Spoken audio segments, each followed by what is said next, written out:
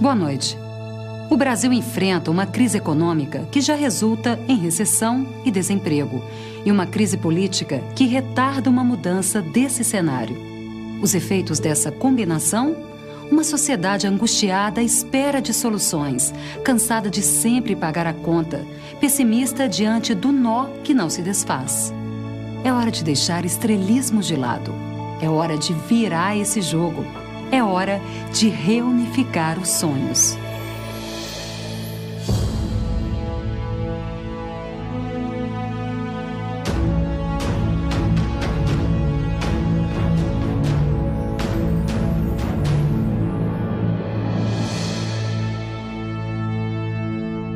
O Brasil passa por um período difícil na economia, assim como por dificuldades políticas.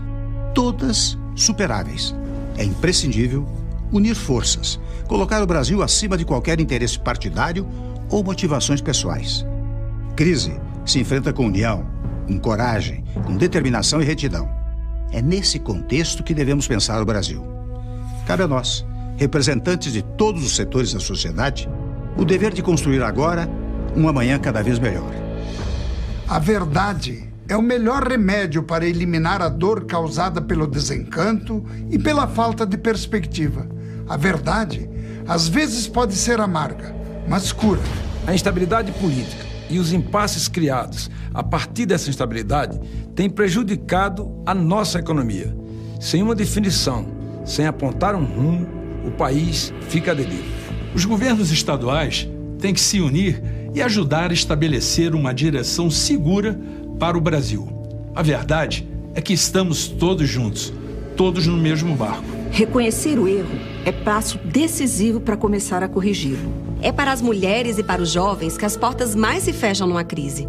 Ou a gente muda agora essa realidade, ou teremos um país sem futuro. Aceitar a verdade é o primeiro passo para avançar. Ninguém mais do que o PMDB tem representatividade em todo o país para unir forças e acertar as contas com a verdade e vencer essa crise.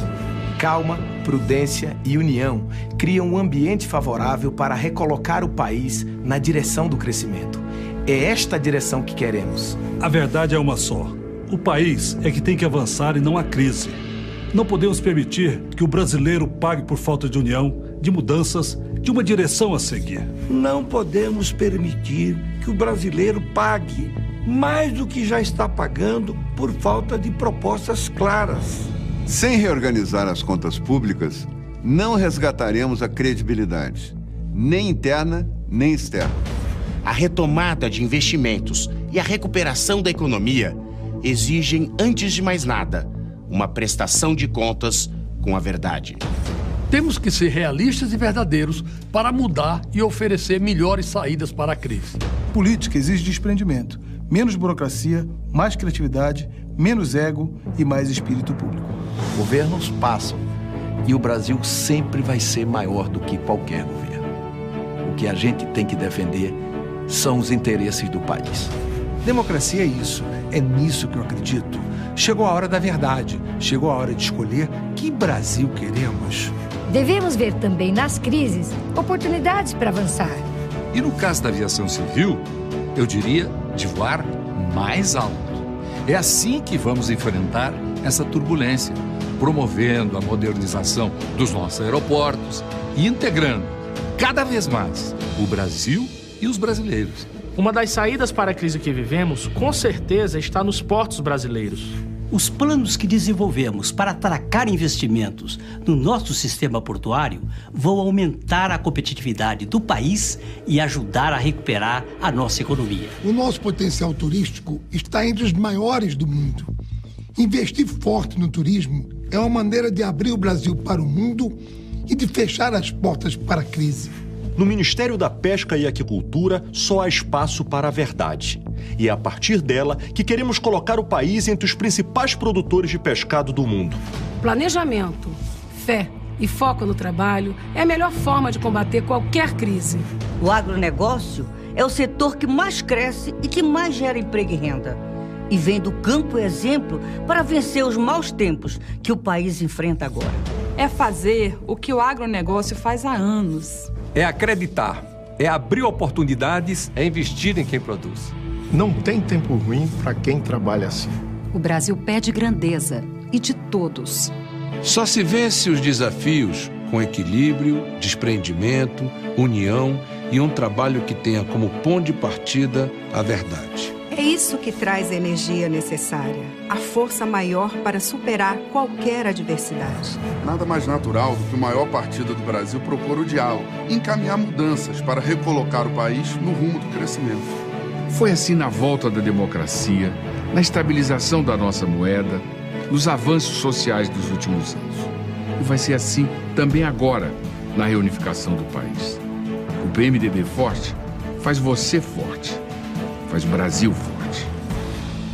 O Brasil não é uma promessa e nem pode viver de promessas. O Brasil é grande, é forte e é assim que tem que se mostrar. E os brasileiros podem acreditar que este é o caminho para chegar aos resultados que todos querem. Um Brasil que avança com grandeza. O que é preciso é definir um caminho, é dizer em que direção estamos indo, por que estamos indo e onde e quando vamos chegar. Temos que saber qual é a proposta concreta para sair da crise. O Brasil precisa dessa direção. O país não pode ficar no vermelho. Não aceita o grau especulativo, o selo de mal pagador.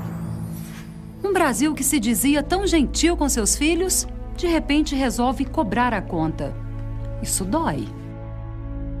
Não dá para manter o país desacreditado e os brasileiros pagando essa conta. Vamos resgatar a confiança perdida. Vamos usar esta crise para refletir sobre os erros e não repeti-los. Vamos fazer dela um motivo de união e estabilizar o país. Nós temos papel importante na correção dos erros que foram cometidos. Temos que apontar soluções. E isso tem que ser para agora, tem que ser para já. E a solução não está na criação de mais impostos para tapar buracos no orçamento. O país não aguenta mais ter que pagar por isso. O Brasil e seus filhos querem ser abraçados. É preciso também estimular o setor produtivo, aumentar a nossa competitividade e criar mais postos de trabalho. Temos que investir, acreditar no que é nosso. Menos impostos, mais postos de trabalho. Aceitar a verdade é o primeiro passo para avançar. Unir o país, colocar ordem na casa, superar a crise. Temos toda a capacidade de retomar o caminho do crescimento e não vamos decepcionar. E eu posso garantir que existe muita gente capaz e pronta para entregar o Brasil que foi prometido a você. Estamos descobrindo um novo Brasil. Um Brasil que não se cala diante dos erros. Os escândalos protagonizados por aqueles que desafiam as leis e as instituições não espelham o comportamento e o caráter de milhões de brasileiros.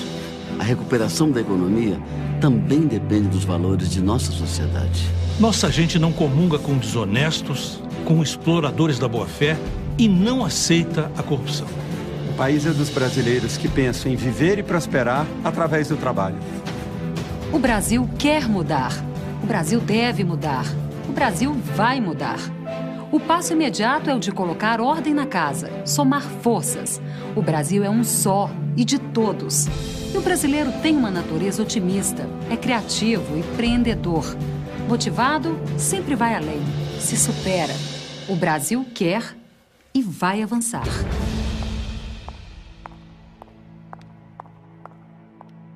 Eu quero agradecer a atenção que você nos deu até aqui. Mas, antes de encerrar, quero lembrar que os mesmos motivos que geram uma crise e trazem desencanto também servem para darmos exemplo de responsabilidade e de trabalho. Assumindo e, acima de tudo, corrigindo erros, mostraremos a todos que somos um país confiável. Na minha trajetória como cidadão e homem público, já vi e convivi com situações bem mais difíceis do que a que enfrentamos agora. Não tenho dúvida de que seremos capazes de superar esse momento. Conheço a força dos brasileiros, o seu espírito de solidariedade, a sua capacidade de reagir, a fé que tem no trabalho.